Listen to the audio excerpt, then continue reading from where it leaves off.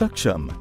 The Learning Management Information System is a step forward in India's digital learning revolution undertaken by the Ministry of Health and Family Welfare under the Government of India.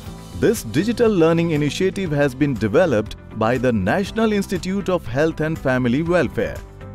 Saksham provides a dedicated online platform for public health training and medical education initiatives, which can be accessed by medical professionals across the country.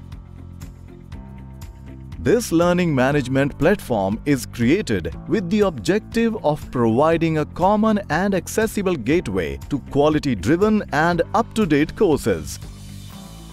Saksham intends to prepare a central repository of teaching and training materials while maintaining a central database of trained healthcare professionals undergoing training in India. Further, by integrating Saksham with a Training Management Information System or TMIS, we finally have a unified platform to monitor all offline trainings in the country.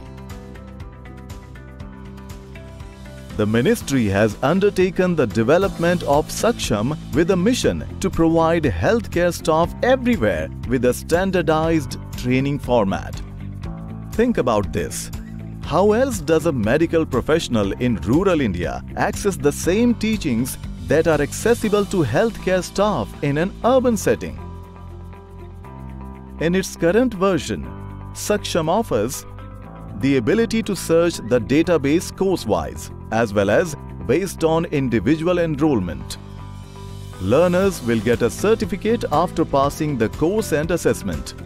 And this web-based portal can be expanded to include a mobile app.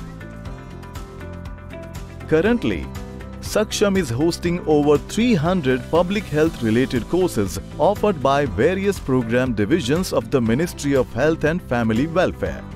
Clinical courses offered by National Medical College Network or NMCN for medical education are also hosted on Saksham and several courses offered by NACO in collaboration with John Hopkins University are also hosted on the same portal.